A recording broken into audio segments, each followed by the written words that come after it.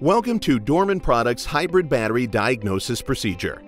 If you are servicing a Toyota hybrid vehicle with a POA A6 or P3009 high voltage leak DTC, first, clear the codes with your scan tool. Second, put the vehicle into the key on and not ready. Ready indicator on dashboard is not illuminated. Position for 30 seconds. If a code returns, the issue is with the hybrid battery. If not, proceed to the next step. Next, put the vehicle into key on and ready position with the transmission shifted into neutral for 30 seconds. If the code returns, there is an issue with the chassis wiring or the inverter. If not, continue to the next step. Finally, put the vehicle into the key on and ready position. Now put the car into drive or reverse gear for 30 seconds.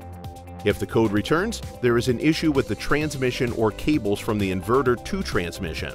If not, return to step 1 and allow more time to lapse while performing each step. Another cause of the P3009 POA A6 DTC is water intrusion due to leaks in the vehicle body structure. The repair technician should examine the vehicle interior parts for rust or water stains that would indicate any moisture in or around the high voltage battery.